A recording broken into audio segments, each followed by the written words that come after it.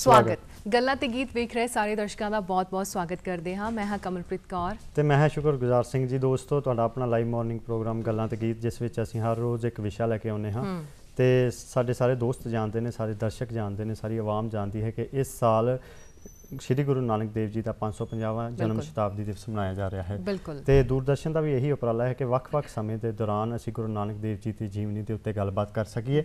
ਉਹਨਾਂ ਦੇ ਨਾਲ ਜੁੜੇ ਹੋਏ ਵਿਸ਼ੇ ਲੈ ਕੇ ਆ ਸਕੀਏ। ਤੇ ਸਾਡਾ ਅੱਜ ਦਾ ਵਿਸ਼ਾ ਵੀ ਗੁਰੂ। ਨਾਨਕ ਦੇਵ ਜੀ ਦੇ ਨਾਲ ਹੀ ਜੁੜਿਆ ਹੋਵੇਗਾ। ਬਿਲਕੁਲ। ਸਾਡਾ ਅੱਜ ਦਾ ਵਿਸ਼ਾ ਹੈ ਸ਼੍ਰੀ ਗੁਰੂ ਨਾਨਕ ਮਾਰਗਦਰਸ਼ਨ। ਸਾਡੇ ਫੋਨ ਨੰਬਰ ਨੇ 0112814261 0112814264 ਦੋਨੋਂ ਲਾਈਨਸ ਤੁਹਾਡੇ ਲਈ ਖੁੱਲੀਆਂ ਹੋਈਆਂ ਨੇ।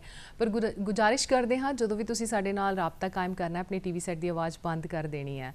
ਔਰ ਜਦੋਂ ਅਸੀਂ ਗੁਰੂ ਨਾਨਕ ਪਾਤਸ਼ਾਹ ਦੀ ਗੱਲਾਂ ਕਰਦੇ ਹਾਂ ਤੇ ਇੱਕ ਮਾਹੌਲ ਇਸ ਤਰ੍ਹਾਂ ਦਾ ਸਿਰਜਣ ਹੋ। ਜਾਂਦਾ ਹੈ ਕਿ ਸਾਨੂੰ ਲੱਗਦਾ ਹੈ ਕਿ ਅਸੀਂ ਉਹਨਾਂ ਦੀਆਂ ਜਿਹੜੀਆਂ ਸਿੱਖਿਆਵਾਂ ਦਿੱਤੀਆਂ ਹੋਈਆਂ ਨੇ ਉਹਨਾਂ ਤੇ। ਅਸੀਂ ਬਿਲਕੁਲ ਨਹੀਂ ਚੱਲਦੇ ਹੈਗੇ। ਪਰ ਸਾਨੂੰ ਕੋਸ਼ਿਸ਼ ਹਮੇਸ਼ਾ ਹੀ ਕਰਦੇ ਰਹਿਣਾ ਚਾਹੀਦਾ ਹੈ ਜੋ ਸਿੱਖਿਆਵਾਂ ਦਿੱਤੀਆਂ। ਸੋ ਅੱਜ ਅਸੀਂ ਮਾਰਗਦਰਸ਼ਨ ਦੀਆਂ ਹੀ ਗੱਲਾਂ ਕਰਨੀਆਂ ਨੇ ਫਿਰ ਸਾਡੇ ਉਚੇਚੇ। ਤੌਰ ਤੇ ਜਿਹੜੇ ਮਾਹਿਰ ਮਹਿਮਾਨ ਪਹੁੰਚੇ ਨੇ ਤਾਰਫ ਕਰਵਾ ਦਈਏ। ਜੀ ਬਿਲਕੁਲ ਜੀ ਸਾਡੇ ਵਿੱਚ ਪਹੁੰਚੇ ਨੇ ਡਾਕਟਰ ਅਮਰਜੀਤ ਸਿੰਘ ਜੋ ਕਿ ਡਾਇਰੈਕਟਰ ਨੇ ਸ੍ਰੀ ਗੁਰੂ ਗ੍ਰੰਥ ਸਾਹਿਬ ਅਧਿਐਨ ਕੇਂਦਰ ਗੁਰੂ ਨਾਨਕ ਦੇਵ ਯੂਨੀਵਰਸਿਟੀ ਅੰਮ੍ਰਿਤਸਰ ਤੋਂ।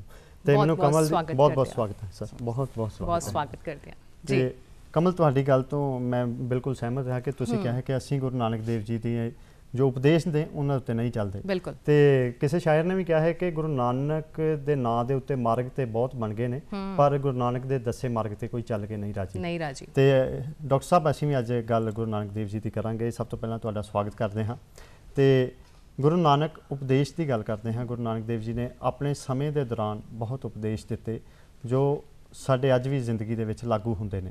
ਜਿਉਂ-ਜਿਉਂ ਸਮਾਂ ਬਦਲਿਆ ਤਿਉਂ-ਤਿਉਂ ਟੈਕਨੀਕ ਵੀ ਆਈ ਤਿਉਂ-ਤਿਉਂ ਬੰਦੇ ਦੇ ਜਿੱਥੇ ਪਹਿਲਾਂ ਬੰਦਾ ਵਿਹਲਾ ਰਹਿੰਦਾ ਹੁੰਦਾ ਸੀ ਉੱਥੇ ਸਾਡੀ ਜ਼ਿੰਦਗੀ ਦੇ ਵਿੱਚ ਬਿਜ਼ੀਨੈਸ ਆ ਗਈ। ਪਰ ਇੰਨੀ ਕੁ ਬਿਜ਼ੀਨੈਸ ਹੋ ਗਈ ਕਿ ਅਸੀਂ ਹਰ ਗੱਲ ਦੇ ਉੱਤੇ ਇਹੀ ਕਹਿੰਦੇ ਹਾਂ ਕਿ ਸਾਡੇ ਕੋਲ ਟਾਈਮ ਨਹੀਂ ਹੈ ਸਾਡੇ ਕੋਲ ਟਾਈਮ ਨਹੀਂ ਹੈ ਸਾਡੇ ਕੋਲ ਟਾਈਮ ਨਹੀਂ ਹੈ। ਜਦ ਕਿ ਗੁਰੂ ਨਾਨਕ ਦੇਵ ਜੀ ਦੇ ਜ਼ਿੰਦਗੀ ਦੇ ਉਹਨਾਂ ਦੇ ਉਪਦੇਸ਼ਾਂ ਦੀ ਉਹਨਾਂ ਦੀ ਫਲਸਫੇ ਦੀ ਗੱਲ ਕਰੀਏ ਤਾਂ ਗੁਰੂ ਨਾਨਕ ਦੇਵ ਜੀ ਕਹਿੰਦੇ ਨੇ ਕਿ ਨਾਮ ਜਪਣਾ ਹੈ ਸਾਡਾ ਪਹਿਲਾ ਕੰਮ ਹੈ ਨਾਮ ਜਪਣਾ। ਤੇ ਪਰ ਅੱਜ ਅਸੀਂ ਨਾਮ ਜਪਦੇ ਹਾਂ ਇੱਕ ਵਿਖਾਵੇ ਨੂੰ ਕਹਿ ਸਕਦੇ ਹਾਂ ਜੇ ਗੁਰਦੁਆਰੇ ਵੀ ਜਾਂਦੇ ਹਾਂ 2 ਮਿੰਟ ਗੁਰਦੁਆਰੇ ਜਾਂਦੇ ਹਾਂ ਕਾਲੀ ਕਾਲੀ ਦੇ ਵਿੱਚ ਮੱਥਾ ਟੇਕ ਕੇ ਪੈਸੇ ਚੜਾਏ ਪੈਸੇ ਚੜਾ ਕੇ ਆ ਕੇ ਆਪਣੇ ਕੰਮਾਂ 'ਚ ਚੱਲ ਜਾਂਦੇ ਹਾਂ। ਕਿਸ ਤਰ੍ਹਾਂ ਅਸੀਂ ਆਪਣੀ ਜ਼ਿੰਦਗੀ ਨੂੰ ਸਹੀ ਢੰਗ ਦੇ ਨਾਲ ਗੁਰੂ ਨਾਨਕ ਦੇਵ ਜੀ ਦੇ ਮਾਰਗ ਦੇ ਉੱਤੇ ਲੈ ਕੇ ਜਾ ਸਕਦੇ ਹਾਂ? ਗੁਰੂ ਨਾਨਕ ਦੇਵ ਜੀ ਬਾਰੇ ਅਸੀਂ ਜੇ ਗੱਲ ਕਰੀਏ ਹੂੰ। ਹਾਂਜੀ। ਤੇ ਉਹ ਇੱਕ ਐਸੇ ਪੈਗੰਬਰ ਹੋਏ ਨੇ ਜੀ। ਹੂੰ। ਜਿਨ੍ਹਾਂ ਨੇ ਮਨੁੱਖਤਾ ਵਾਸਤੇ ਇੱਕ ਬਹੁਤ ਸਿੱਧਾ ਤੇ ਸੌਖਾ ਤਰੀਕਾ ਜਿਹੜਾ ਸੀ। ਜਿਉਣ ਦਾ ਇੱਕ ਦੱਸਿਆ। ਤੇ ਉਹਦੇ ਲਈ ਉਹਨਾਂ ਨੇ ਕੋਈ ਬਹੁਤ ਜ਼ਿਆਦਾ ਗੁੰਝਲਦਾਰ ਗੱਲਾਂ ਜਾਂ ਕੋਈ ਹੋਰ ਸਿਧਾਂਤ ਇਦਾਂ ਦੇ ਬਹੁਤ ਜਿਹੜੇ ਡੂੰਘੇ ਹੋਣ ਜਿਹੜੇ ਲੋਕਾਂ ਦੀ ਪਕੜ ਵਿੱਚ ਨਾ ਆਉਣ। ਜੀ ਹਾਂਜੀ। ਜੀ ਉਹਨਾਂ ਦੀ ਇਸ ਕਿਸਮ ਦੀ ਕੋਈ ਵਿਚਾਰਧਾਰਾ ਨਹੀਂ ਹੂੰ। ਬੜੀ ਸਿੱਧੀ ਹੈ। ਤੇ ਉਹਨਾਂ ਦੇ ਵਿਚਾਰਾਂ ਨੂੰ ਉਹਨਾਂ ਦੇ ਉਪਦੇਸ਼ਾਂ ਨੂੰ ਜਦੋਂ ਅਸੀਂ ਸਿੰਪਲ ਤੇ ਸਿੱਧੇ ਸ਼ਬਦਾਂ ਵਿੱਚ ਬਿਆਨ ਕਰਦੇ ਹਾਂ ਹਾਂਜੀ। ਤੇ ਉਹ ਕਿਰਤ ਕਰਨਾ ਨਾਮ ਜਪਣਾ ਬਣ ਛਕਣਾ ਬਿਲਕੁਲ। ਹਾਂਜੀ। ਇਹ ਜ਼ਿੰਦਗੀ ਜਿਉਣ ਦਾ ਇੱਕ ਸਭ ਤੋਂ ਵਧੀਆ ਤੇ ਸੌਖਾ ਤਰੀਕਾ ਜਿਹੜਾ ਸੀ ਉਹਨਾਂ ਨੇ ਦੱਸਿਆ। ਹਾਂਜੀ। ਤੇ ਅਸੀਂ ਦੇਖ ਸਕਦੇ ਹਾਂ ਕਿ ਅਕਸਰ ਗੁਰੂ ਸਾਹਿਬ ਨੇ ਉਸ ਗੱਲ ਤੇ ਉੱਤੇ ਜ਼ਿਆਦਾ ਜ਼ੋਰ ਦਿੱਤਾ ਕਿ ਮਨੁੱਖ ਦਾ ਸੰਸਾਰ ਵਿੱਚ ਆਉਣ ਦਾ ਮਨੋਰਥ ਕੀ ਹੈ? ਕੀ ਹੈ ਬਿਲਕੁਲ। ਬਿਲਕੁਲ। ਜਦੋਂ ਅਸੀਂ ਉਸ ਨੂੰ ਸਮਝ ਲਿਆ ਤੇ ਫਿਰ ਅੱਗੇ ਜਾ ਕੇ ਬਾਕੀ ਗੱਲਾਂ ਜਿਹੜੀਆਂ ਨੇ ਅਸੀਂ ਕਹਿੰਦੇ ਸਾਡੇ ਕੋਲ ਸਮਾਂ ਨਹੀਂ ਹੈ। ਜੀ। ਸਮਾਂ ਇਸ ਕਰਕੇ ਨਹੀਂ ਹੈ ਕਿ ਸਾਨੂੰ ਸਾਡੇ ਆਦਰਸ਼ ਦਾ ਹੀ ਨਹੀਂ ਪਤਾ। ਸਾਨੂੰ ਆਪਣੇ ਜਿਹੜਾ ਮਨੋਰਥ ਆ ਜ਼ਿੰਦਗੀ ਦਾ ਕਿਉਂ ਮਿਲੀ ਆ? ਉਸ। ਬਾਰੇ ਸਾਨੂੰ ਕੋਈ ਜਾਣਕਾਰੀ ਨਹੀਂ। ਜੇ ਜਾਣਕਾਰੀ ਹੈ ਤੇ ਅਸੀਂ ਉਸ ਵਾਸਤੇ ਸੀਰੀਅਸ ਵੀ ਨਹੀਂ ਹੁੰਦੇ। ਬਿਲਕੁਲ। ਤੇ ਸੋਚੀ ਜਾਂਦੇ ਕੋਈ ਨਹੀਂ ਸਮਾਂ ਆਊਗਾ। ਸਮਾਂ ਆਉਣ ਤੋਂ ਬਾਅਦ ਅਸੀਂ ਕਰ ਲਾਂਗੇ ਕਿਸੇ ਖਾਸ ਪੱਧਰ ਤੇ ਜਾ ਕੇ ਜ਼ਿੰਦਗੀ ਦੇ। ਲੇਕਿਨ ਗੁਰੂ ਸਾਹਿਬ ਨੇ ਜ਼ਿੰਦਗੀ ਦੀ ਜਦੋਂ ਗੱਲ ਕਰਨ ਲੱਗਦੇ ਨੇ ਜੀ। ਬੜੀਆਂ ਖੂਬਸੂਰਤ ਮਿਸਾਲਾਂ ਉਹਨਾਂ ਨੇ ਦਿੱਤੀਆਂ ਹੋਈਆਂ ਹੈਗੀਆਂ ਨੇ। ਜੀ। ਸਮਝਾਉਣ ਵਾਸਤੇ ਕਿ ਜ਼ਿੰਦਗੀ ਦਾ ਜਿਹੜਾ ਹੈ ਸੀਮਾ ਕਿੰਨੀ ਕੁ ਹੈ? ਹਮ ਆਦਮੀ ਹਾਂ ਇੱਕਦਮ ਹੀ ਬਿਲਕੁਲ। ਇੱਕ ਛੋਟੀ ਜਿਹੀ ਪੰਕਤੀ ਵਿੱਚ ਗੁਰੂ ਸਾਹਿਬ ਜੀ ਸਾਨੂੰ ਜ਼ਿੰਦਗੀ ਦੀ ਅਸਲੀਅਤ ਬਿਆਨ ਕਰ ਦਿੰਦੇ ਨੇ। ਕਿ ਸਾਹ ਚੱਲਦਾ ਤੇ ਬੰਦਾ ਜਿਉਂਦਾ ਹੈ ਜ਼ਿੰਦਗੀ ਚੱਲਦੀ ਹੈ। ਬਿਲਕੁਲ। ਲੇਕਿਨ ਸਾਹ ਬੰਦ ਹੋ ਗਿਆ ਖਤਮ। ਹੂੰ। ਫੇਰ ਕਹਿੰਦੇ ਵੀ ਸਦੜੇ ਨਿਤ ਪਵਨ। ਹਾਂਜੀ। ਹਰ ਰੋਜ਼ ਸੱਦੇ ਪੈ ਰਹੇ ਇਹ ਵੀ ਇੱਕ ਸਚਾਈ ਆ। ਸੱਚਾਈ ਆ। ਬਿਲਕੁਲ ਜੀ। ਤੇ ਨਾਲ ਉਹਨਾਂ ਨੇ ਇੱਕ ਜਿਹੜਾ ਦੱਸਿਆ ਵੀ ਕਦੋਂ ਸੱਦਾ ਪੈ ਸਕਦਾ ਹੈ ਇਹ ਨਹੀਂ ਇੱਕ ਪਤਾ। ਤਾਂ ਇਹ ਹੈ ਨਾ ਆਦਮੀ ਇੱਕਦਮ ਹੀ। ਬਿਲਕੁਲ। ਅੱਗੇ ਗੁਰੂ ਸਾਹਿਬ ਦੇ ਇੱਕ ਪੰਕਤੀ ਇੱਕ ਪ੍ਰਮਾਣ ਉਹਨਾਂ ਨੇ ਸਮਝਾਇਆ ਹੋਇਆ ਹੈ ਬੜੇ ਵਧੀਆ ਢੰਗ ਨਾਲ ਹੁਣ ਉੱਠ ਚੱਲਣਾ। ਹੂੰ। ਹੁਣ। ਅੱਛਾ ਹੁਣੇ ਹੀ ਉੱਠਣਾ ਪੈ ਸਕਦਾ। ਮੋਹਤ ਕੇ ਤਾਲ। ਤਾੜੀ ਜਿੱਦਾਂ ਵਜਾਉਣ ਜਗਾ ਜਿੰਨਾ ਸਮਾਂ ਲੱਗਦਾ ਇਸ ਤੋਂ ਵੀ ਘੱਟ ਸਮੇਂ ਦੇ ਵਿੱਚ ਬੰਦੇ ਨੂੰ ਸੰਸਾਰ ਤੋਂ ਤੁਰਨਾ ਪੈ ਸਕਦਾ। ਜਦੋਂ ਮਨੁੱਖ ਜ਼ਿੰਦਗੀ ਦੀ ਇਸ ਸੀਮਾ ਨੂੰ ਜਿਹੜਾ ਹੈ ਜਿਹੜੀ ਅਨਿਸ਼ਚਿਤ ਹੈ ਜਿਹਦੇ ਬਾਰੇ ਕੁਝ ਪਤਾ ਨਹੀਂ ਜੀ ਬਿਲਕੁਲ। ਤੇ ਉਸ ਬਾਰੇ ਉਹ ਸੀਰੀਅਸ ਹੋ ਜਾਏਗਾ। ਜੀ। ਤੇ ਫਿਰ ਗੁਰੂ ਸਾਹਿਬ ਜਿਹੜਾ ਦੱਸਿਆ ਹੋਇਆ ਉਪਦੇਸ਼ ਆ ਵੀ ਕਿਰਤ ਕਰਨ ਦਾ ਨਾਮ ਜਪਣ ਦਾ ਵੰਡ ਛਕਣ ਦਾ ਜੀ। ਤੇ ਉਸ ਵਾਲੇ ਪਾਸੇ ਨੂੰ ਜ਼ਰੂਰ ਉਪਰਾਲਾ- ਉਪਰਾਲੇ ਕਰਨੇ ਸ਼ੁਰੂ ਕਰ ਦੇਵੇ ਉਦਮ ਸਾਨੂੰ ਹੀ ਕਰਨਾ ਪਏਗਾ। ਬਿਲਕੁਲ। ਜੀ। ਔਰ ਡਾਕਟਰ ਸਾਹਿਬ, ਜਦੋਂ ਅਸੀਂ ਗੱਲਾਂ ਕਰਦੇ ਹਾਂ ਕਿ ਅਸੀਂ ਬਾਣੀ ਪੜ੍ਹਨ ਦੀਆਂ ਗੱਲਾਂ ਕਰਦੇ ਹਾਂ, ਵਿਚਾਰ ਕਰਨ ਦੀਆਂ ਗੱਲਾਂ ਕਰਦੇ ਹਾਂ, ਤੇ ਅਕਸਰ ਹੀ ਗੁਰੂ ਨਾਨਕ ਪਾਤਸ਼ਾਹ ਦੀ ਅਸੀਂ ਪਹਿਲੀ ਬਾਣੀ ਜਿਹੜੀ ਰਚਿਤ ਹੈਗੀ ਆ, ਜਪਜੀ ਸਾਹਿਬ, ਉਹਦੇ ਤੋਂ ਅਸੀਂ ਦਿਨ ਦੀ ਸ਼ੁਰੂਆਤ ਕਰਦੇ ਹਾਂ। ਅਸੀਂ ਅਕਸਰ ਉਹਨੂੰ ਪੜ੍ਹ ਤਾਂ ਲੈਂਦੇ ਹਾਂ, ਪਰ ਆਪਣੀ ਜ਼ਿੰਦਗੀ ਦੇ ਵਿੱਚ ਉਹਨੂੰ ਢਾਲ ਨਹੀਂ ਪਾਉਂਦੇ। ਬਹੁਤ ਸੋਹਣੀਆਂ ਸਤਰਾਂ ਗੁਰੂ ਨਾਨਕ ਪਾਤਸ਼ਾਹ ਨੇ ਸਾਨੂੰ ਸੁਣਨ ਦੀਆਂ ਗੱਲਾਂ ਦੱਸੀਆਂ ਹੋਈਆਂ ਨੇ। ਅਸੀਂ ਗਾਵੀਏ ਕਿੱਦਾਂ, ਗਾ ਕਿੱਦਾਂ ਸਕਦੇ ਹਾਂ, ਪਰਮਾਤਮਾ ਦੀ ਜਿਹੜੀ ਹੈਗੀ ਆ ਮਹਿਮਾ, ਉਹਨੂੰ ਕਿੱਦਾਂ ਗਾ ਸਕਦੇ ਹਾਂ? ਪਰ ਕਈ ਵਾਰ ਹੁੰਦਾ ਹੈ ਕਿ ਸਾਨੂੰ ਜਿਹੜੀ ਵਿਆਖਿਆ ਉਹਦੀ ਪਤਾ ਨਹੀਂ ਰਹਿੰਦੀ ਔਰ ਜਿਹੜੀ ਵਿਆਖਿਆ ਹੁੰਦੀ ਹੈ ਅਸੀਂ ਆਪਣੇ ਮਨੋਂ ਹੀ ਬਣਾ ਲੈਂਦੇ ਹਾਂ। ਤੇ ਕੀ ਲੱਗਦਾ ਹੈ ਕਿ ਗੁਰੂ ਨਾਨਕ ਪਾਤਸ਼ਾਹ ਨੇ ਜੋ ਸਾਨੂੰ ਜਪਜੀ ਸਾਹਿਬ ਜਾਂ ਹੋਰ ਬਾਣੀਆਂ ਵਿੱਚ ਉਪਦੇਸ਼ ਦਿੱਤੇ ਕੀ ਸਾਡੇ ਤੱਕ ਉਹ ਸਹੀ ਪਹੁੰਚ ਰਹੇ ਨੇ? ਕੀ ਸਾਨੂੰ ਉਹਨਾਂ ਤੇ ਮਾਰਗ ਤੇ ਚੱਲਣ ਦੇ ਲਈ ਕੋਈ ਪ੍ਰੇਰਣਾ ਮਿਲ ਸਕਦੀ ਹੈ? ਬਿਲਕੁਲ ਮਿਲ ਸਕਦੀ ਹੈ ਜੀ। ਗੁਰੂ ਸਾਹਿਬ ਨੇ ਇਸ- ਜਪਜੀ ਸਾਹਿਬ ਦੇ ਵਿੱਚ ਜਿਹੜਾ ਹੈਗਾ ਐਡੇ ਵੱਡੇ ਵਿਚਾਰ ਦੇਤੇ ਨੇ। ਜੀ। ਹਾਂਜੀ। ਸ਼ਾਇਦ ਜੇ ਪ੍ਰਮਾਤਮਾ ਦੀ ਗੱਲੇ ਕਰੀਏ ਪਹਿਲਾਂ ਵੀ ਪ੍ਰਮਾਤਮਾ ਦਾ ਸਰੂਪ ਕੀ ਆ? ਜੀ। ਜਿਸ ਦੀ ਅਸੀਂ ਆਰਾਧਨਾ ਕਰਨੀ ਆ ਜਿਸ ਨੂੰ ਅਸੀਂ ਯਾਦ ਕਰਨਾ ਜਿਸ ਦਾ ਸਿਮਰਨ ਕਰਨਾ ਜਿਸ ਦੀ ਭਗਤੀ ਕਰਨ ਦਾ ਗੁਰੂ ਸਾਹਿਬ ਜੀ ਉਪਦੇਸ਼ ਕਰਦੇ ਨੇ। ਤੇ ਜੇ ਉਸ ਦੇ ਸਰੂਪ ਬਾਰੇ ਹੀ ਗੱਲ ਕਰੀਏ ਤਾਂ ਮੇਰਾ ਖਿਆਲ ਆ ਦੁਨੀਆ ਦੀ ਹੋਰ ਕਿਸੇ ਭਾਸ਼ਾ ਵਿੱਚ ਇੰਨਾ ਵਧੀਆ ਢੰਗ ਦੇ ਨਾਲ ਤੇ ਥੋੜੇ ਜਿਹੇ ਸੰਕੋਚਵੇਂ ਸ਼ਬਦਾਂ ਰਾਹੀਂ ਜਿਹੜਾ ਪ੍ਰਮਾਤਮਾ ਬਾਰੇ ਗੱਲ ਕਰ ਦਿੱਤੀ ਆ ਇੱਕ ਓੰਕਾਰ ਬਿਲਕੁਲ। ਸਤਨਾਮ ਹਾਂਜੀ। ਕਰਤਾ ਪੁਰਖ ਨਿਰਭਉ ਨਿਰਵੈਰ ਅਕਾਲ ਮੂਰਤ ਅਜੂਨੀ ਸਹਿਭੰਗ ਗੁਰ ਪ੍ਰਸਾਦ ਜੀ। ਹਾਂਜੀ। ਮਤਲਬ ਜਿਹੜੇ ਪ੍ਰਮਾਤਮਾ ਦੇ ਗੁਣ ਨੇ ਹੂੰ। ਤੇ ਪ੍ਰਮਾਤਮਾ ਦਾ ਸਰੂਪ ਜਿਹੜਾ ਸੀ ਉਹ ਗੁਰੂ ਸਾਹਿਬ ਜੀ ਨੇ ਗਿਣਤੀ ਮਿਣਤੀ ਦੇ ਸ਼ਬਦਾਂ ਰਾਹੀਂ ਜਿਹੜਾ ਹੈਗਾ ਦੱਸ ਦਿੱਤਾ ਵੀ ਉਹਦੇ ਗੁਣ ਕੀ ਨੇ। ਜੀ। ਜੇ ਅਸੀਂ ਸਿਮਰਨ ਕਰਦੇ ਆ ਉਹਨੂੰ ਯਾਦ ਕਰਦੇ ਆ ਹੂੰ। ਤੇ ਯਾਦ ਕਰਨ ਦਾ ਮਤਲਬ ਇਹ ਨਹੀਂ ਕਿ ਇਕੱਲਾ ਅਸੀਂ ਰਚਨਾ ਨਾਲ ਤਾਂ ਜਾਂ ਦਿਖਾਵੇ ਵਾਸਤੇ ਜਿੱਦਾਂ ਤੁਸੀਂ ਗੱਲ ਕੀਤੀ ਆ ਵੀ ਕਰੀ ਜਾਈਏ। ਹੂੰ ਹੂੰ। ਜੇ ਅਸੀਂ ਪ੍ਰਮਾਤਮਾ ਵਾਲੇ ਗੁਣ ਜਿਹੜਾ ਨਿਰਭਉ ਵਾਲਾ ਨਿਰਵੈਰ ਵਾਲੀ ਗੱਲ ਆ। ਗੱਲ ਨਹੀਂ ਮੰਨਦੇ। ਤੇ ਕਰਤਾ ਪੁਰਖ ਵੀ ਇਹਨੂੰ ਆਖਿਆ। ਜੀ। ਉਹਦੇ ਵਿੱਚ ਕਿਰਤ ਆ ਗਈ। ਹੂੰ। ਵੀ ਪ੍ਰਮਾਤਮਾ ਦਾ ਇੱਕ ਨਾਮ ਵੀ ਗੁਰੂ ਸਾਹਿਬ ਨੇ ਜਿਹੜਾ ਹੈਗਾ ਕਰਤਾ ਜਾਂ ਕਰਤਾਰ ਜਿਹੜਾ ਰੱਖਿਆ ਜੀ। ਨਗਰ ਵੀ ਵਸਾਇਆ ਕਰਤਾਰਪੁਰ। ਬਿਲਕੁਲ ਜਿੱਥੇ ਆਪ ਕਿਰਤ ਕੀਤੀ। ਹੂੰ। ਤੇ ਇਹ ਚੀਜ਼ਾਂ ਜਿਹੜੀਆਂ ਹੈਗੀਆਂ ਨੇ ਪ੍ਰਮਾਤਮਾ ਨੂੰ ਗੁਣਾਂ ਨੂੰ ਆਪਣੇ ਜੀਵਨ ਦੇ ਵਿੱਚ ਅਪਣਾਉਣਾ ਹੂੰ। ਇਹ ਬੜਾ ਜਿਹੜਾ ਹੈਗਾ ਜ਼ਰੂਰੀ ਆ। ਤੇ ਜਪਜੀ ਸਾਹਿਬ ਜਿਹੜਾ ਹੈ ਇੱਕ ਬੇਸ ਬਣਦਾ ਗੁਰੂ ਸਾਹਿਬ ਦਾ ਜਿਹੜਾ ਹੈਗਾ ਜੋ ਉਹਨਾਂ ਨੇ ਵਿਚਾਰਧਾਰਾ ਸਾਨੂੰ ਦਿੱਤੀ ਆ। ਤੇ ਅਕਸਰ ਵਿਦਵਾਨ ਇਹ ਮੰਨਦੇ ਨੇ ਵੀ ਮੂਲ ਮੰਤਰ ਦੀ ਵਿਆਖਿਆ ਜਪਜੀ ਸਾਹਿਬ ਜੀ। ਤੇ ਜਪਜੀ ਸਾਹਿਬ ਦੀ ਵਿਆਖਿਆ ਗੁਰੂ ਗ੍ਰੰਥ ਸਾਹਿਬ ਦੇ ਵਿੱਚ ਹੈ। ਜੀ ਬਿਲਕੁਲ। ਇੰਨੀਆਂ ਸੰਖੇਪ ਜਿਹੜੀਆਂ ਜਿਹੜੀਆਂ ਬਾਣੀ ਦੇ ਵਿੱਚ ਗੁਰੂ ਸਾਹਿਬ ਨੇ ਵੱਡੀਆਂ ਗੱਲਾਂ ਵੱਡੇ ਵਿਚਾਰ ਵੱਡੀਆਂ ਸਿੱਖਿਆਵਾਂ ਸਾਨੂੰ ਦਿੱਤੀਆਂ ਨੇ। ਉਹਦੇ ਵਿੱਚ ਤੁਸੀਂ ਗੱਲ ਕੀਤੀ ਗਾਉਣ ਦੀ ਗੱਲ ਕਰਦੇ ਨੇ ਸੁਣਨ ਦੀ ਗੱਲ ਗੁਰੂ। ਸਾਹਿਬ ਜੀ ਕਰਦੇ ਨੇ ਮੰਨਣ ਦੀ ਕਰਦੇ ਨੇ। ਤੇ ਇੱਕ ਹੋਰ ਥਾਂ ਗੁਰੂ ਸਾਹਿਬ ਨੇ ਆਖਿਆ ਹੋਇਆ ਪੜਿਆ ਨਹੀਂ ਭੇਦ ਬੁੱਝਿਆ ਪਾਵਣਾ ਕੱਲਾ ਨਿਰਾ ਜੇ ਅਸੀਂ ਪੜ੍ਹੀ ਚੱਲੀਏ ਸਮਝੀਏ ਨਾ ਹਾਂਜੀ ਬਿਲਕੁਲ ਵਿਚਾਰ ਨਾ ਕਰੀਏ। ਵਿਚਾਰ ਕਰ ਲਈਏ ਉਹਨੂੰ ਅਮਲ 'ਚ ਨਾ ਲਿਆਈਏ। ਬਿਲਕੁਲ। ਤੇ ਅਸਲ ਗੱਲ ਜਿਹੜੀ ਹੈਗੀ ਆ ਪ੍ਰੈਕਟੀਕਲ ਜਿਹੜੀ ਗੱਲ ਜਾ ਕੇ ਹੋਣੀ ਆ ਫਿਰ ਜੋ ਅਸੀਂ ਬਾਣੀ ਪੜ੍ਹ ਰਹੇ ਆ ਹਾਂਜੀ। ਜੋ ਸਾਨੂੰ ਸਮਝ ਲੱਗੀ ਆ ਜੋ ਚੰਗੀਆਂ ਗੱਲਾਂ ਗੁਰੂ ਸਾਹਿਬ ਨੇ ਦਿੱਤੀਆਂ ਹੋਈਆਂ ਨੇ ਜੀ। ਉਹਨਾਂ ਨੂੰ ਪੜ੍ਹ ਕੇ ਉਹਨਾਂ ਨੂੰ ਵਿਚਾਰਨਾ ਤੇ ਉਹਨਾਂ ਮੁਤਾਬਕ ਆਪਣਾ ਜੀਵਨ ਬਣਾਉਣਾ ਅਮਲ ਵਿੱਚ ਲਿਆਉਣਾ ਪ੍ਰੈਕਟੀਕਲੀ ਜਿਹੜਾ ਹੈ ਇੱਕ ਜ਼ਿੰਦਗੀ ਜਿਉਣੀ ਉਹ ਜਿਹੜਾ ਹੈ ਕਰਨਾ ਪਏਗਾ। ਬਿਲਕੁਲ ਜੀ ਬਿਲਕੁਲ ਜੀ। ਤੇ ਗੁਰੂ ਨਾਨਕ ਦੇਵ ਜੀ ਦੀ ਜੋ ਫਲਸਫਾ ਹੈ ਜ਼ਿੰਦਗੀ ਦਾ ਉਸ ਦੇ ਵਿੱਚ ਸਾਨੂੰ ਬਹੁਤ ਕੁਝ ਸਿੱਖਣ ਨੂੰ ਮਿਲਦਾ ਹੈ। ਜਿਉਂ-ਜਿਉਂ ਇਹਨਾਂ ਦੀ ਉਮਰ ਦੇ ਅਸੀਂ ਇਹ ਤਗਾਜੇ ਵੱਲ ਵੇਖਦੇ ਹਾਂ ਹਰ ਉਮਰ ਦੇ ਪਹਿਰ ਦੇ ਵਿੱਚ ਸਾਨੂੰ ਕੁਝ ਨਾ ਕੁਝ ਮਿਲਦਾ ਹੈ। ਤੇ ਅੱਜ ਦੇ ਦੌਰ ਦੇ ਵਿੱਚ ਜੇ ਮੈਂ ਦੇਖਦਾ ਹਾਂ ਅੱਜ ਦੇ ਦੌਰ ਦੇ ਵਿੱਚ ਸਿਰਫ ਚਿੰਤਾਵਾਂ ਦਿਖਦੀਆਂ ਨੇ। ਹਰ ਕੋਈ ਜੇ ਕੋਈ ਸਟੂਡੈਂਟ ਹੈ ਉਹ ਚਿੰਤਾ ਦੇ ਵਿੱਚ ਹੈ। ਆ- ਅਸੀਂ ਅਕਸਰ ਦੇਖਦੇ ਹਾਂ ਕਿ ਬੱਚੇ ਨੇ ਨੰਬਰ ਘੱਟ ਆਏ ਤੇ ਫਾਂਸੀ ਲੈ ਲਈ। ਜੇ ਮਾਪੇ ਆ ਮਾਪਿਆਂ ਦੀ ਚਿੰਤਾ ਹੈ। ਜੇ ਅਗਲੀ ਉਮਰ ਹੈ ਉੱਥੇ ਚਿੰਤਾ ਆ ਰਹੀ ਹੈ। ਤੇ ਜਦ ਕਿ ਸਾਨੂੰ ਗੁਰਬਾਣੀ ਕਹਿੰਦੀ ਹੈ ਕਿ ਜਿਨ ਪੈਦਾਇਸ਼ ਤੁਧ ਕੀਆ ਸੋਈ ਦੇਗਾ ਆਧਾਰ ਤੂੰ ਕਾਹੇ ਡੋਲੇ ਪ੍ਰਾਣੀਆਂ? ਠੀਕ ਹੈ ਜੀ? ਰਾਖੀ ਤੇ ਬਸ ਕਿਸ ਤਰ੍ਹਾਂ ਮਤਲਬ ਕਿ ਇਹ ਚਿੰਤਾਵਾਂ ਤੋਂ ਅਸੀਂ ਮੁਕਤ ਹੋ ਸਕਦੇ ਹਾਂ? ਇਸ ਵਾਸਤੇ ਫਿਰ ਉੱਥੇ ਗੱਲ ਆਉਣੀ ਆ ਕਿ ਜਿਹੜੀ ਅਸੀਂ ਜ਼ਿੰਦਗੀ ਦੀ ਇੱਕ ਮੰਜ਼ਿਲ ਕੀ ਆ ਹੂੰ। ਤੇ ਗੁਰੂ ਸਾਹਿਬ ਨੇ ਡਿਠ ਨਹੀਂ ਕੀਤਾ ਵੀ ਵਿਵਹਾ- ਵਿਵਹਾਰ ਦੀ ਜ਼ਿੰਦਗੀ ਜਿਹੜੀ ਇੱਕ ਸੰਸਾਰ ਦੇ ਵਿੱਚ ਵੀ ਉਹਨੂੰ ਇੱਕ ਜੀਵਨ ਮਿਲਦਾ ਮਨੁੱਖ ਨੂੰ ਜੀਉਣ ਦਾ ਜਿੰਨੀ ਵੀ ਉਹਦੀ ਸੀਮਾ ਹੈ ਜੀ। ਉਹ ਜਿਉਣੀ ਹੈ ਉਸਨੇ ਉਹ ਨਿਸ਼ਚਿਤ ਹੈ। ਬਿਲਕੁਲ। ਲੇਕਿਨ ਉਸ ਦੇ ਨਾਲ ਨਾਲ ਜਿਹੜਾ ਹੈ ਆਪਣੇ ਅਸਲ ਆਦਰਸ਼ ਨੂੰ ਵੀ ਯਾਦ ਰੱਖਣਾ ਤੇ ਫਿਰ ਜਦੋਂ ਅਸੀਂ ਤੁਰਾਂਗੇ ਹੁਣ ਅਸੀਂ ਇੱਕ ਹੋਰ ਦੌੜ 'ਚ ਪਏ ਹਾਂ ਦੁਨਿਆਵੀ ਤੌਰ ਤੇ ਕੱਲਾ ਨਰੋਲ ਦੁਨਿਆਵੀ ਦੌੜ ਜਿਹੜੀ ਹੈਗੀ ਆ ਇਹਦਾ ਜਿਹੜਾ ਹੈਗਾ ਇੱਕ ਐਸੀ ਇਹ ਹਨੇਰੀ ਗੁਫਾ ਆ। ਜਿਹਦੇ ਵਿੱਚ ਫਿਰ ਪ੍ਰਕਾਸ਼ ਨਹੀਂ ਦਿਸਦਾ ਕੁਝ ਵੀ। ਚਾਨਣ ਨਹੀਂ ਦਿਸਦਾ। ਬੰਦਾ ਹਨੇਰੇ ਵਿੱਚ ਫਸਿਆ ਹੋਇਆ ਦੌੜਿਆ ਫਿਰਦਾ ਤੇ ਅਖੀਰ ਨੂੰ ਜਾ ਕੇ ਜਿਸ ਤਰ੍ਹਾਂ ਤੁਸੀਂ ਗੱਲ ਕਰ ਰਹੇ ਹੋ ਬੱਚਿਆਂ ਦੀ ਵਿਦਿਆਰਥੀਆਂ ਦੀ ਤੇ ਦੁਨੀਆ ਦੇ ਵਿੱਚ ਵੱਡੇ ਵੱਡੇ ਅਮੀਰ ਬੰਦੇ ਨੇ ਜਿਨ੍ਹਾਂ ਕੋਲੇ ਦੁਨਿਆਵੀ ਜਿਹੜੇ ਹੈਗੇ ਸੁੱਖਾਂ ਦੀ ਕੋਈ ਘਾਟ ਨਹੀਂ ਪੈਸੇ ਦੀ ਘਾਟ ਨਹੀਂ ਜੀ। ਉਹ ਵੀ ਸੁਸਾਈਡ ਕਰ ਗਏ। ਬਿਲਕੁਲ। ਕਾਰਨ ਇਹ ਹੀ ਆ ਕਿ ਜਿਹੜੀ ਉਹਨਾਂ ਕੋਲ ਇੱਕ ਨਰੋਈ ਸੇਧ ਦੇਣ ਵਾਲੀ ਵਿਚਾਰਧਾਰਾ ਹੁੰਦੀ ਹੈਗੀ ਜਦੋਂ ਉਹ ਕੋਲੇ ਨਾ ਹੋਵੇ ਬਿਲਕੁਲ। ਤੇ ਫਿਰ ਮਨੁੱਖ ਸਾਰਾ ਕੁਝ ਹੁੰਦੇ ਹੁੰਦੇ ਵੀ ਜਦੋਂ ਕੋਈ ਮਾੜੀ ਜਿਹੀ ਵੀ ਔਕੜ ਆ ਜਾਂਦੀ ਆ ਘਬਰਾ ਜਾਂਦਾ। ਜੀ। ਤੇ ਗੁਰੂ ਸਾਹਿਬ ਨੇ ਇੱਕ ਐਸੀ ਵਿਚਾਰਧਾਰਾ ਦਿੱਤੀ ਆ ਵੀ ਇੱਕ ਸਹਿਜ ਦਾ ਜੀਵਨ ਹੂੰ ਧੀਰਜ ਵਾਲਾ ਜੀਵਨ। ਹਾਂਜੀ। ਜਿਹਦੇ ਵਿੱਚ ਜਿੱਥੇ ਤੁਸੀਂ ਆਪਣੀਆਂ ਸਮਾਜ ਦੀਆਂ ਜ਼ਿੰਮੇਵਾਰੀਆਂ ਨਿਭਾਉਣ ਦਾ ਵੀ ਗੁਰੂ ਸਾਹਿਬ ਜੀ ਗੱਲ ਕਰਦੇ ਨੇ ਹਾਂਜੀ। ਉੱਥੇ ਨਾਲ ਦੀ ਨਾਲ ਜਿਹੜਾ ਹੈਗਾ ਪਰਮਾਤਮਾ ਨੂੰ ਯਾਦ ਕਰਨ ਦੀ ਗੱਲ ਵੀ ਗੁਰੂ ਸਾਹਿਬ ਨੇ ਉਪਦੇਸ਼ ਕੀਤਾ। ਗੁਰੂ ਸਾਹਿਬ ਜੀ ਮੰਨਦੇ ਨੇ। ਜੀ। ਇਹ ਤਾਂ ਗੱਲ ਔਖੀ ਆ ਇਹ। ਹੂੰ। ਨਿਤਨੇ ਦੀਆਂ ਬਾਣੀਆਂ ਵਿੱਚ ਵੀ ਰੋਜ਼ਾਨਾ ਜਿਹੜਾ ਹੈ ਇਹ ਪੜਨ ਵਾਸਤੇ ਸਾਨੂੰ ਮਿਲਦਾ। ਆਖਾਂ ਜੀਵਾਂ ਵਿਸਰ ਮਰ। ਗੁਰੂ ਸਾਹਿਬ ਜੀ ਨੇ ਇਹਨੇ ਮਹਾਨਤਾ ਦੱਸੀ ਹੈ ਵੀ ਪਰਮਾਤਮਾ ਨੂੰ ਯਾਦ ਕਰਨਾ ਕਿੰਨਾ ਜ਼ਰੂਰੀ ਆ। ਜੀ ਬਿਲਕੁਲ। ਜੇ ਤੁਸੀਂ ਉਹਨੂੰ ਭੁੱਲ ਜਾਂਦੇ ਤਾਂ ਉਹ ਮੌਤ ਦੇ ਬਰਾਬਰ ਹੈ। ਪਰ ਸਾਨੂੰ ਅਹਿਸਾਸ ਨਹੀਂ ਹੁੰਦਾ। ਹੂੰ। ਕਿਉਂ ਨਹੀਂ ਹੁੰਦਾ? ਹੂੰ। ਕਿਉਂਕਿ ਸਾਨੂੰ ਆਪਣੇ ਅਸਲ ਜਿਹੜੀ ਜ਼ਿੰਦਗੀ ਦਾ ਦਰਸ਼ ਆ ਉਹਦੀ ਸਮਝ ਨਹੀਂ। ਨਹੀਂ ਹੈਗੀ। ਤੇ ਜ਼ਿੰਦਗੀ ਜਿਉਣੀ ਕਿੱਦਾਂ ਆ? ਗੁਰੂ ਸਾਹਿਬ ਨੇ ਇੱਕ ਸਿੱਧ ਗੋਸ਼ਟ ਜਦੋਂ ਸਿੱਧਾਂ ਨੇ ਵੀ ਸਵਾਲ ਕੀਤੇ ਸੀ ਗੁਰੂ ਸਾਹਿਬ ਬਹੁਤ ਸਾਰੇ। ਜੀ। ਤੇ ਉੱਥੇ ਜਾ ਕੇ ਗੁਰੂ ਸਾਹਿਬ ਨੇ ਉਹਨਾਂ ਨੇ ਪੁੱਛਿਆ ਵੀ ਬੜਾ ਔਖਾ ਜੀ ਸੰਸਾਰ ਨੂੰ ਤਰਨਾ। ਜੀ।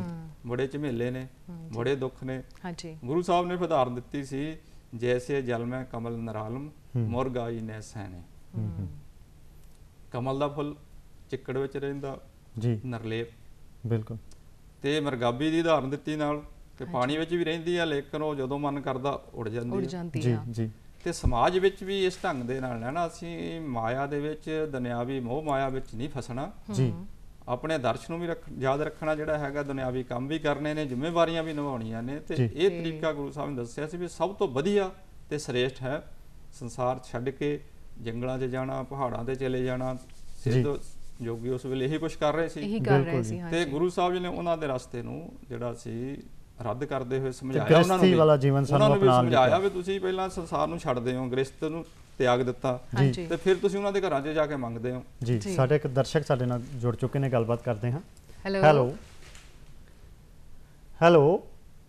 ਗੁਲਾਬ ਮੋੜ ਜੀ ਬਹੁਤ ਬਹੁਤ। ਸਵਾਗਤ ਕਰਦੇ ਹਾਂ ਤੁਹਾਡਾ ਪ੍ਰੋਗਰਾਮ ਦੇ ਵਿੱਚ। ਸਤਿ ਸ਼੍ਰੀ ਅਕਾਲ. ਗੁਲਾਮ ਮੋੜ ਬੋਲ ਰਹੇ ਹਾਂ ਜੀ ਬਠਿੰਡੇ. ਤੋਂ। ਤੇ ਪਹਿਲਾਂ ਤਾਂ ਧੰਨਵਾਦ ਹੈ ਜੀ ਡੀਡੀ ਪੰਜਾਬੀ ਦਾ ਬਹੁਤ ਵਧੀਆ ਵਿਸ਼ਾ। ਸ਼ੁਕਰੀਆ ਜੀ ਸ਼ੁਕਰੀਆ। ਆਪਾਂ ਗੱਲ ਕਰੀਏ ਜੀ ਗੁਰੂ ਨਾਨਕ ਦੇਵ ਜੀ ਸਿੱਖਾਂ ਦੇ ਨਾ ਪਹਿਲੇ ਗੁਰੂ ਸੀ। ਹਾਂਜੀ। ਉਹਨਾਂ ਨੇ ਲਕਾਈ ਨੂੰ ਬਹੁਤ ਕੁਝ ਦਿੱਤਾ ਬਹੁਤ ਵਧੀਆ ਉਪਦੇਸ਼ ਦਿੱਤਾ। ਉਪਦੇਸ਼ ਚੌਂ ਵਰਨਾ ਕੋ ਸਾਂਝਾ ਜਾਤ ਕਾ ਗਰਭ ਨਾ ਕਰਿਓ ਕੋਈ। ਤੇ ਅੱਜ ਕੱਲ ਜੇ ਆਪਾਂ ਵੇਖੀਏ ਤਾਂ ਉਹਨਾਂ ਉਪਦੇਸ਼ਾਂ ਤੇ ਨਾ ਕੋਈ ਚੱਲਦਾ ਨਹੀਂ ਜੀ। ਉਸ ਫਲਸਫੇ ਤੇ ਉਸ ਮਾਰਗਦਰਸ਼ਨ ਤੇ ਚੱਲਦਾ ਨਹੀਂ। ਬਾਣੀ ਪੜ੍ਹਦੇ ਉਸ ਤੇ ਅਮਲ ਨਹੀਂ ਕਰਦੇ ਜੀ। ਜੀ ਜੀ। ਤੇ ਜਾਤ ਪਾਤ ਦਾ ਬਖਰੇਵਾ ਧਰਮਾਂ ਦਾ ਉਹ ਮੇਰਾ ਧਰਮ ਆ ਮੇਰਾ ਧਰਮ ਆ ਜੀ। ਬਿਲਕੁਲ। ਪਖੰਡ ਬਹੁਤ ਬਹੁਤ ਵੱਧ ਗਿਆ ਜੀ। ਤੇ ਜੀ। ਕੀ ਕਾਰਨ ਜੀ? ਜੀ। ਬਹੁਤ ਮੈਂ ਬਹੁਤ ਸ਼ੁਕਰੀਆ ਮੈਂ ਆਪਣੇ। ਦਰਸ਼ਕ ਦੀ ਗੱਲ ਦੇ ਨਾਲ ਇੱਕ ਹੋਰ ਗੱਲ ਜੋੜਾਂਗਾ ਜਿੱਥੇ ਸਰਬ ਸਾਂਝੀ ਵਾਲਤਾ ਦਾ ਉਪਦੇਸ਼ ਦਿੱਤਾ ਗੁਰੂ ਨਾਨਕ ਦੇਵ ਜੀ ਨੇ। ਉਹਨਾਂ ਦੀ ਗੱਲ ਬਿਲਕੁਲ ਠੀਕ ਹੈ ਕਿ ਜਾਤ ਪਾਤ ਦੇ ਵਿੱਚ ਅਸੀਂ ਵੰਡੇ ਜਾ ਚੁੱਕੇ ਹਾਂ। ਪਿੰਡਾਂ ਦੀ ਗੱਲ ਕਰ ਲੈਣਾ ਹਾਂ ਅੱਜ ਦੇ ਦੌਰ ਦੇ ਵਿੱਚ। ਪਿੰਡਾਂ ਦੇ ਵਿੱਚ ਗੁਰਦੁਆਰੇ ਵੀ ਜਾਤਾਂ ਦੇ ਨਾਂ ਦੇ ਉੱਤੇ ਨੇ। ਵੀ ਆ ਉਸ ਕੌਮ ਦਾ ਗੁਰਦੁਆਰਾ ਹੈ ਉਸ ਜਾਤ ਦਾ ਹੈ। ਤੇ ਇੱਥੋਂ ਤੱਕ ਅਰਥੀਆਂ ਵੀ ਜਾਤਾਂ ਦੇ ਉੱਤੇ ਜਾਂਦੀਆਂ ਨੇ ਇੱਥੇ ਸਾਡੇ ਸਿਵੇ ਵੀ ਜਾਤਾਂ ਦੇ ਉੱਤੇ ਬਣੇ ਨੇ ਮੜੀਆਂ ਵੀ ਜਾਤਾਂ ਦੇ ਉੱਤੇ ਬਣੀਆਂ ਨੇ। ਤੇ ਜਦੋਂ ਇਦਾਂ ਦਾ ਮਾਹੌਲ ਸਾਡੇ ਪਿੰਡਾਂ ਦੇ ਵਿੱਚ ਸਾਡੇ ਸਮਾਜ ਦੇ ਵਿੱਚ ਹੋਵੇਗਾ ਕਿ ਜਿੱਥੇ ਗੁਰਦੁਆਰੇ ਵੀ ਤੇ ਸਾਡੇ ਆਖਰੀ ਸਥਾਨ ਵੀ ਜਦੋਂ ਵੰਡੇ ਜਾਣਗੇ ਤਾਂ ਉੱਥੇ ਕਿਸ ਤਰ੍ਹਾਂ ਅਸੀਂ ਗੁਰੂ ਨਾਨਕ ਦੇਵ ਜੀ ਦੇ ਫਲਸਫੇ ਤੇ ਚੱਲਾਂਗੇ? ਗੁਰੂ ਸਾਹਿਬ ਦੇ ਸਮਕਾਲ ਦੀ ਗੱਲ ਦੇਖੀਏ ਤੇ ਬਹੁਤ ਵੱਡੇ ਪੱਧਰ ਤੇ ਜਾਤ ਪਾਤ ਵਾਲੀ ਗੱਲ ਵੰਡਿਆਂ ਵਾਲੀ ਗੱਲ ਵਿਤਕਰਿਆਂ ਵਾਲੀ ਗੱਲ ਜਿਹੜੀ ਸਮਾਜ ਵਿੱਚ ਪ੍ਰਚਲਿਤ ਸੀ। ਜੀ। ਗੁਰੂ ਸਾਹਿਬ ਨੇ ਬੜਾ ਜਿਹੜਾ ਸੀ ਸਪਸ਼ਟ ਕਰ ਦਿੱਤਾ ਸਿੱਧੇ ਸ਼ਬਦਾਂ ਦੇ ਵਿੱਚ ਵੀ ਜਾਤ ਪਾਤ ਮਨੁੱਖ ਦੀ ਜਨਮ ਕਰਕੇ ਨਹੀਂ ਮਿੱਥੀ ਜਾ ਸਕਦੀ। ਹੂੰ। ਜੀ। ਜੇ ਕਿਸੇ ਨੂੰ ਉੱਚਾ ਨੀਵਾ ਮੰਨਣਾ ਹੈ ਹਾਂਜੀ। ਉਹਦੇ ਲਈ ਜ਼ਰੂਰ ਉਹਦੇ ਜਿਹੜੇ ਕਰਮ ਕੀ ਨੇ? ਜੀ। ਹੂੰ। ਉਹ ਕੰਮ ਕਿਹੋ ਜਿਹਾ ਕਰਦਾ ਜਿਹੜਾ ਹੈਗਾ? ਜਾਤ ਜਨਮ ਨਾ ਪੁੱਛੀਐ ਸੱਚ ਕਰ ਲਿਓ ਬਤਾਏ ਸਾ ਜਤ ਸਾ ਪਾਤ ਹੈ ਜਿਹੇ ਕਰਮ ਕਮਾਏ। ਹੂੰ। ਮਨੁੱਖ ਕਰਮ ਕੀ ਕਰਦਾ? ਬਿਲਕੁਲ। ਉਸ ਦੇ ਉੱਤੇ ਆਧਾਰਿਤ ਜਿਹੜਾ ਹੈਗਾ ਕਿਸੇ ਨੂੰ ਉੱਚਾ ਨੀਵਾਂ ਗਿਣਿਆ ਜਾ ਸਕਦਾ ਮੰਨਿਆ ਜਾ ਸਕਦਾ ਤੇ ਬਾਰ-ਬਾਰ ਗੁਰੂ ਸਾਹਿਬ ਜੀ ਕਹਿੰਦੇ ਨੇ ਸਭ ਮੈਂ ਜੋਤ ਜੋਤ ਹੈ ਸੋਏ, ਤਿਸ ਕਾ। ਚਾਨਣ ਸਭ ਮੈਂ ਚਾਨਣ ਹੋਏ। ਏਕ ਨੂਰ ਤੇ ਸਭ ਰੂਪ ਜਿਆ। ਤੇ ਨਾਲ ਫਿਰ ਉਹਨਾਂ ਨੇ ਦੱਸਿਆ ਫਿਰ ਫੇਰ ਵੀ ਤੁਹਾਨੂੰ ਕੋਈ ਯਕੀਨ ਨਹੀਂ। ਉਹ ਕਹਿੰਦੇ ਇਦਾਂ ਕਰੋ ਫਿਰ ਹੱਥ ਤੇ ਜ਼ਹਿਰ ਰੱਖ ਲਓ। ਅੱਛਾ ਜੀ। ਇੱਕ ਜਿਹੜਾ ਆਪਣੇ ਆਪ ਨੂੰ ਬਹੁਤ ਉੱਚੀ ਜਾਤ ਵਾਲਾ ਸਮਝਦਾ ਉਹ ਵੀ ਰੱਖ ਲਿਆ ਹੱਥ ਤੇ ਤੇ ਇੱਕ ਜਿਹੜਾ ਜਿਹਨੂੰ ਉਹ ਨੀਵਾ ਗਿਣਦਾ ਹੈਗਾ ਉਸ ਨੂੰ ਉਹ ਵੀ ਵੀ ਰੱਖ ਲਵੇ। ਦੋਵੇਂ ਜਣੇ ਜ਼ਹਿਰ ਖਾਣ। ਹੂੰ ਹੂੰ। ਹੂੰ। ਜੇ ਤਾਂ ਉੱਚੀ ਜਾਤ ਵਾਲਾ ਬਚ ਜਾਵੇ ਹੂੰ। ਫੇਰ ਤਾਂ ਉਹ ਠੀਕ ਆ ਵੀ ਉੱਚੀ ਜਾਤ ਦਾ ਉਹਨੂੰ ਕੋਈ ਫਾਇਦਾ ਹੋ ਸਕਦਾ। ਹਾਂਜੀ। ਉਹ ਕਹਿੰਦੇ ਵੀ ਮੋਹਰਾ ਹੋਵੇ ਹੱਥ ਮਰੀਏ ਚੱਖੀਏ। ਹੂੰ। ਕੋਈ ਵੀ ਖਾਵੇਗਾ ਉਹ ਮਰੇਗਾ ਮਰੇਗਾ। ਮਰੇਗਾ। ਮਰੇਗਾ। ਤੇ ਗੁਰੂ ਸਾਹਿਬ ਨੇ ਇਸ ਢੰਗ ਦੇ ਨਾਲ ਜਿਹੜਾ ਸੀ ਬੜੇ ਵਧੀਆ ਤਰੀਕਿਆਂ ਨਾਲ ਸਮਝਾਇਆ ਵੀ ਨਹੀਂ ਹੋਣਾ ਚਾਹੀਦਾ। ਤੇ ਜੇ ਅੱਜ ਵੀ ਸਾਡੇ ਵਿੱਚ ਉਹ ਚੀਜ਼ਾਂ ਨੇ ਹਾਂਜੀ। ਤੇ 550 ਸਾਲਾਂ ਅੱਜ ਪ੍ਰਕਾਸ਼ ਪੁਰਬ ਗੁਰੂ ਸਾਹਿਬ ਦਾ ਸਾਲ ਚੱਲ ਰਿਹਾ। ਹਾਂਜੀ। ਤੇ ਘੱਟੋ ਘੱਟ ਹੁਣ ਸਾਨੂੰ ਇਹੋ ਜਿਹੇ ਮੌਕਿਆਂ ਦੇ ਉੱਤੇ ਜ਼ਰੂਰ ਉਹਨਾਂ ਗੱਲਾਂ ਵੱਲ ਧਿਆਨ ਦੇਣਾ ਬਣ ਜਾਂਦਾ। ਹਾਂਜੀ। ਜਿਹੜੀਆਂ ਉਣਤਾਂ ਕਮੀਆਂ ਸਾਡੇ ਵਿੱਚ ਨੇ ਉਹਨਾਂ ਨੂੰ ਅਸੀਂ ਪਛਾਣ ਕੇ ਤੇ ਅੱਗੇ ਜਿਹੜਾ ਹੈ ਵਧੀਏ ਤੇ ਗੁਰੂ ਦੇ ਉਪਦੇਸ਼ਾਂ ਦੇ ਉੱਤੇ ਅਮਲ ਕਰੀਏ। ਅਸੀਂ ਗੁਰੂ ਨਾਨਕ ਪਾਤਸ਼ਾਹ ਦੀਆਂ ਜਿਹੜੀਆਂ ਮਾਰਗਦਰਸ਼ਨ ਨੇ ਸਾਨੂੰ ਬਹੁਤ ਕੁਝ ਚੀਜ਼ਾਂ ਸਿਖਾਈਆਂ ਹੋਈਆਂ ਨੇ। ਇੱਕ ਵਕਤ ਉਹ ਸੀ ਜਦੋਂ ਅਸੀਂ ਗੱਲ ਕਰਦੇ ਸੀ ਜਦੋਂ ਗੁਰੂ ਨਾਨਕ ਪਾਤਸ਼ਾਹ ਦਾ ਪ੍ਰਕਾਸ਼ ਹੋਇਆ। ਅਸੀਂ ਕਹਿੰਦੇ ਸੀ ਅ, ਸਤਿਗੁਰੂ ਨਾਨਕ ਪਟ- ਪ੍ਰਗਟਿਆ ਮਿੱਟੀ ਤੁੰਦ ਜਗ ਚਾਨਣ ਹੋਇਆ। ਤੇ ਅੱਜ ਵੀ ਅਸੀਂ ਉਹਨੂੰ ਹੋਕਾ ਲਾ ਲਾ ਕੇ ਆਵਾਜ਼ਾਂ ਮਾਰ ਮਾਰ ਕੇ ਬੁਲਾ ਰਹੇ ਹਾਂ। ਨਾਨਕ ਆ ਕੇ ਵੇਖ ਤੇਰੀ ਧਰਤੀ ਦਾ ਕੀ ਹਾਲ ਹੋਇਆ। ਉਹ ਸਮਾਂ ਸੀ ਜਦੋਂ ਅਸੀਂ ਕੁਰਲਾਉਂਦੇ ਸੀ ਤੇ ਅੱਜ ਸਮਾਂ ਅਸੀਂ ਫਿਰ ਕੁਰਲਾ ਰਹੇ ਹਾਂ ਕਿ ਇਹ ਸਾਨੂੰ ਲੱਗ ਰਿਹਾ ਹੈ ਕਿ ਜੋ ਸਾਦਗੀ ਸੱਚਾਈ ਵਾਲਾ ਸਾਨੂੰ ਜ਼ਿੰਦਗੀ ਦਿੱਤੀ ਸੀਗੀ ਉਹਨਾਂ ਨੇ ਉਸ ਸਮੇਂ ਉੱਤੇ। ਅੱਜ ਅਸੀਂ ਉਹਨੂੰ ਨਾ ਅਪਣਾ ਕੇ ਪਦਾਰਥਵਾਦੀ ਹੁੰਦੇ ਜਾ ਰਹੇ ਹਾਂ। ਅਸੀਂ ਆਪਣਾ ਨਾ ਦੇਖਦੇ ਹੋਇਆ ਸਮਾਜ ਦੇ ਵਿੱਚ ਸਾਡਾ ਕੀ ਰੁਤਬਾ ਹੈ, ਅਸੀਂ ਉਹਦੇ ਵੱਲ ਹੀ ਭੱਜੇ ਜਾ ਰਹੇ ਹਾਂ। ਇਹ ਚੀਜ਼ਾਂ ਜਿਹੜੀਆਂ ਹੋ ਰਹੀਆਂ ਨੇ ਅੱਜ ਕੱਲ ਦੇ ਜ਼ਮਾਨੇ ਦੇ ਵਿੱਚ, ਕਿਤੇ ਨਾ ਕਿਤੇ ਸਾਨੂੰ ਬਹੁਤ ਹੀ ਭਟਕਾ ਰਹੀਆਂ ਨੇ। ਤੇ ਸਾਨੂੰ ਪਤਾ ਹੀ ਨਹੀਂ ਅਸਲ ਜ਼ਿੰਦਗੀ ਦਾ ਮਨੋਰਥ ਕੀ ਹੈ। ਸੱਚ ਤੇ ਸਾਦਗੀ ਵਾਲਾ ਪਹਿਰਾਵਾ ਪਹਿਨ ਕੇ ਚੱਲੀਏ ਤਾਂ ਆਪਣੀ ਜ਼ਿੰਦਗੀ ਨੂੰ ਹੋਰ ਵੀ ਸਰਲ ਬਣਾ ਸਕਦੇ ਹਾਂ। ਸੰਤੁਸ਼ਟੀ ਸਾਨੂੰ ਕਿਤੇ ਵੀ ਨਹੀਂ ਆਉਂਦੀ। ਕਿਸੇ ਰਿਸ਼ਤੇ 'ਚ ਨਹੀਂ ਆਉਂਦੀ, ਕਿਸੇ ਸਾਡੇ ਪਿਆਰ ਦੇ ਵਿੱਚ ਨਹੀਂ ਆਉਂਦੀ। ਸਾਨੂੰ ਹਰ ਵਾਰ ਲੱਗਦਾ ਹੈ ਕਿ ਜੋ ਅਸੀਂ ਚੀਜ਼ਾਂ ਮੰਗਦੇ ਹਾਂ, ਉਹ ਸਾਨੂੰ ਨਹੀਂ ਮਿਲਦੀਆਂ। ਤੇ ਇਹ ਜਿਹੜੀਆਂ ਸਾਰੀਆਂ ਚੀਜ਼ਾਂ ਹੋ ਰਹੀਆਂ ਨੇ, ਜੋ ਸਮਾਜ ਇੰਨਾ ਬਦਲ ਰਿਹਾ ਹੈ, ਉੱਥੇ ਕੀ ਕਹਿਣਾ ਚਾਹੁੰਦੇ ਹੋ ਕਿ ਕੀ ਉਪਦੇਸ਼ ਦੇ ਜਿਹੜੇ ਹੈਗੇ ਆ, ਅਸੀਂ ਆਪਣੇ ਰਾਹ ਤੋਂ ਭਟਕ ਗਏ ਆ ਤੇ ਅੱਜ ਸਾਨੂੰ ਲੋੜ ਹੈ ਉਹਨਾਂ ਰਾਹਾਂ ਤੇ ਚੱਲਣ ਦੀ? ਜਪਜੀ ਸਾਹਿਬ ਦੇ ਵਿੱਚੋਂ ਆਪਾਂ ਜੇ ਗੱਲ ਲੈ ਲਈਏ ਹੂੰ। ਇਸ ਗੱਲ ਨੂੰ ਸਪਸ਼ਟ ਕਰਨ ਲਈ ਤੇ ਗੁਰੂ ਸਾਹਿਬ ਨੇ ਇੱਕ ਐਡੀ ਵੱਡੀ ਗੱਲ ਕੀਤੀ ਆ। ਸ਼ਾਇਦ ਚਾਹੇ ਅਸੀਂ ਕਹਿੰਦੇ ਵੀ ਬਹੁਤ ਦੌੜ 'ਚ ਪਏ ਹੋਏ ਆ ਹੂੰ। ਉੱਥੇ ਤੱਕ ਅਸੀਂ ਫੇਰ ਵੀ ਨਹੀਂ ਪਹੁੰਚ ਰਹੇ ਜਿੰਨੀ ਵੱਡੀ ਗੁਰੂ ਸਾਹਿਬ ਜੀ ਗੱਲ ਕਰਦਾ ਜਾਂਦੇ ਵਿੱਚ ਤੂੰ ਆ ਕੁਝ ਵੀ ਹੋ ਜਾਏ ਉਹ ਇੱਕ ਪਿਕਚਰ ਸਾਨੂੰ ਦਿਖਾਉਂਦੇ ਨੇ। ਉਮਰ ਦੀ ਗੱਲ ਚੱਲੀ ਸੀ। ਜੀ। ਜੇ ਯੁਗ ਚਾਰੇ ਹਾਰ ਜਾ ਹੋਰ ਬਿਲਕੁਲ। ਦਸੋਣੀ ਹੋਰ ਦਸੋਣੀ ਹੋਏ। ਹੋਏ। ਬਿਲਕੁਲ। ਜੇ ਲੰਬੀ ਉਮਰ ਦੀ ਗੱਲ ਕੋਈ ਕਰਨ ਚਾਹੁੰਦਾ ਹੂੰ ਵੀ ਮੇਰੀ ਲੰਬੀ ਉਮਰ ਹੋ ਜਾਵੇ ਹੂੰ। ਗੁਰੂ ਸਾਹਿਬ ਕਹਿੰਦੇ ਵੀ ਚੱਲ ਇੱਕ ਯੁੱਗ ਨਹੀਂ ਦੋ ਯੁੱਗ ਨਹੀਂ ਚਾਰ ਯੁੱਗ ਨਹੀਂ ਚਾਰ ਯੁੱਗਾਂ ਤੋਂ ਵੀ 10 ਗੁਣਾ ਹੋਰ ਵੱਧ ਜਾਵੇ। ਹੂੰ। ਲੱਖਾਂ ਸਾਲ ਸਾਡੀ ਜਿਹੜੀ ਆ ਕਲਪੀ ਗਈ ਆ ਉਮਰ ਇੱਕ ਇੱਕ ਯੁੱਗ ਦੀ। ਤੇ ਗੁਰੂ ਸਾਹਿਬ ਨੇ। ਉਸ ਨੂੰ ਕਿੰਨੇ ਮਲਟੀਪਲਾਈ ਕਰਤਾ 10 ਗੁਣਾ ਵਧਾਤਾ ਬਿਲਕੁਲ ਜੀ। ਸ਼ਾਇਦ ਬੰਦਾ ਇੰਨਾ ਲੰਬਾ ਨਹੀਂ ਸੋਚਦਾ ਹੋਣਾ ਵੀ ਮੈਂ ਇੰਨੀ ਲੰਬੀ ਜ਼ਿੰਦਗੀ ਜਿਉਣੀ ਆ। ਉਦਾਂ ਠੀਕ ਆ ਲੰਬ- ਜ਼ਿੰਦਗੀ ਭਾਲਦਾ। ਲੇਕਿਨ ਐਡੀ ਵੱਡੀ ਸੋਚ ਰੱਖਦਾ ਹੋਵੇ ਮੈਂ 40 ਯੁੱਗਾਂ ਦੇ ਬਰਾਬਰ ਜਿਹੜਾ ਹੈ ਮੇਰੀ ਜ਼ਿੰਦਗੀ ਹੋ ਜਾਏ ਇੰਨਾ ਕਦੀ ਵੀ ਨਹੀਂ ਸੋਚਿਆ ਹੁਣ। ਬਿਲਕੁਲ। ਨਹੀਂ। ਤੇ ਆਪਾਂ ਜੇ ਦੌਰ ਦੇ ਵਿੱਚ ਜਾਂਦੇ ਹਾਂ ਇਸ ਦੌਰ ਦੀ ਗੱਲ ਕਰਦੇ ਹਾਂ ਜਿੱਥੇ ਫਿਰ ਉਹੀ ਗੱਲ ਕਿ ਅਸੀਂ ਆਪਣੇ ਕੰਮਾਂ ਕਾਰਾਂ ਵਿੱਚ ਹੀ ਉਲਝ ਜਾਂਦੇ ਹਾਂ ਆਪਣੀਆਂ ਗੱਲਾਂ ਬਾਤਾਂ ਵਿੱਚ ਹੀ ਉਲਝ ਜਾਂਦੇ ਹਾਂ ਮੋਹ ਦੇ ਵਿੱਚ ਉਲਝ ਜਾਂਦੇ ਹਾਂ। ਤੇ ਇੱਕ ਬੰਨੇ ਸਾਨੂੰ ਗੁਰਬਾਣੀ ਕਹਿ ਰਹੀ ਹੈ ਗੁਰੂ ਨਾਨਕ ਦੇਵ ਜੀ ਕਹਿ ਰਹੇ ਨੇ ਕਿ ਦੁੱਖ ਦਾਰੂ ਸੁਖ ਰੋਗ ਪਿਆ ਜਾ ਸੁਖ ਤਾਮ ਨਾ ਹੋਈ। ਵੀ ਜਦੋਂ ਦੁੱਖ ਦਾ ਸਮਾਂ ਹੁੰਦਾ ਹੈ ਅਸੀਂ ਤੈਨੂੰ ਯਾਦ ਕਰਦੇ ਹਾਂ ਸੁੱਖ ਵੇਲੇ ਫਿਰ ਭੁੱਲੇ ਬੈਠਦੇ ਹਾਂ। ਫਿਰ ਦੂਜੇ ਬੰਨੇ ਨਾਲ ਦੇ ਨਾਲ ਉਹ ਕਹਿ ਰਹੇ ਨੇ ਕਿ ਭਾਰਤ ਰਾਜੂ ਤੋਲੀਏ ਨਿਵੇਂ ਸੌਗਾਰਾ ਹੋਏ। ਵੀ ਸਾਡੀ ਜ਼ਿੰਦਗੀ ਦੇ ਵਿੱਚ ਨਿਮਰਤਾ ਜਿੰਨੀ ਹੋਵੇਗੀ ਉਨੇ ਅਸੀਂ ਸੌਖੇ ਹੋਵਾਂਗੇ। ਪਰ ਕਿਤੇ ਨਾ ਕਿਤੇ ਜਿਸ ਤਰ੍ਹਾਂ ਸਾਡੀ ਜ਼ਿੰਦਗੀ ਦਾ ਫਲਸਫਾ ਹੈ ਸਾਡਾ ਜਨਮ ਹੋਣਾ ਹੈ ਸਾਡੀ ਜਵਾਨੀ ਵੀ ਆਉਣੀ ਹੈ ਅਸੀਂ ਉਮਰ ਵੀ ਮੰਨਣੀ ਹੈ।